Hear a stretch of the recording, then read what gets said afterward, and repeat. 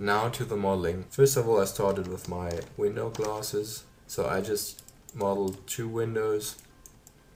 Just those simple boxes, there's no, no um, subdivisions, it's just the standard simple cube in Maya, just scaled.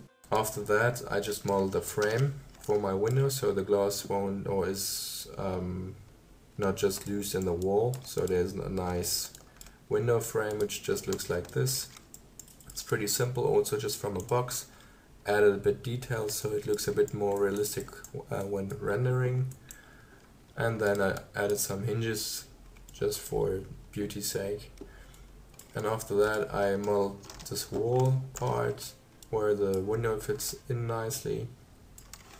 Also just some standard modeling skills, a box extruded and then made it hollow in the middle.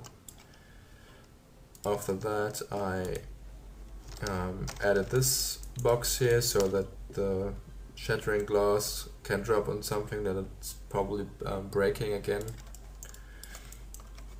And then that's mostly it for the modeling. I just then duplicated my part here several times like so and I added uh, ceilings and floors and walls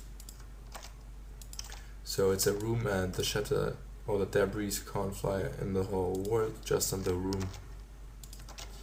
So this is probably all I did for modeling sake.